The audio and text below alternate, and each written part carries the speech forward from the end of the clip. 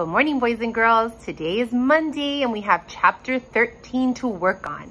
I have a new backdrop, my new home, but we're going to go ahead and read through chapter 13 together. For chapter 13 and 14, and most likely 15 and 16, we will not be doing the comprehension pages. We're just going to be reading for fun and for enjoyment. So I want you to make sure to just listen and enjoy every ounce of this story because it is a beautiful story. It's fun. Here we go. Remember, as we read, we track the print. We have our finger follow along. And even though we might not be doing the comprehension pages, boys and girls, we always keep a pencil in our hand just so that we can, you know, circle words we might not know or underline key ideas that you want to remember for next time. Here we go. Trouble in the tunnel. Dun, dun, dun. I wonder what that's going to happen. Did Worm just speak to me? Through his thoughts? Drake didn't know what to think, but he had a feeling those words of warning had come from Worm. Drake, what's the matter? Ana asked. It's, I'm, I'm not sure, he said. What would they think if I told them that I heard words in my head? Worm doesn't want to go. Fine, stay here. Be a big chicken, Rori snapped.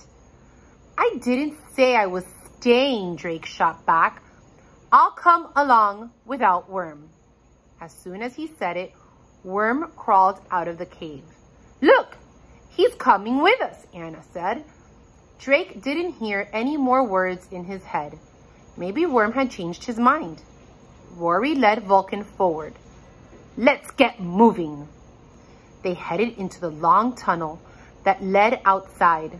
The torches on the walls weren't lit, and their candles weren't doing much to light things up. Kepri can light the way, Ana said, but before she could give the command, Rori cried out, Look! Drake craned his neck, I'm kind of craning my neck, to look around the drag, oh, I'm sorry, I lost my spot.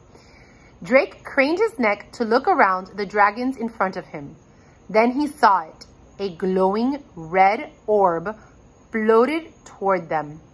It grew bigger and bigger as it got closer. That looks like wizard's magic, Ana cried. But it's not Griffith's magic, said Bo. It feels scary. Just then, Vulcan let out a loud roar. His big tail thrashed back and forth.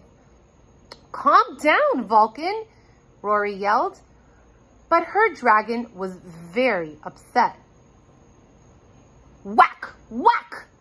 Vulcan's tail banged against the sides of the tunnel. His big body slammed against the walls. Kepri and Shu cried out. They both turned, I mean, they both tried to turn back. Only Worm stayed calm. The tunnel began to shake. Dirt fell from the walls. The Dragon Masters all looked at one another. Run! Drake yelled, but it was too late. The walls caved in around them. Oh no, boys and girls. That does not sound like something that is a good idea. Maybe that's what Worm was trying to warn, warn Drake about. Well, we'll find out next time. See you later.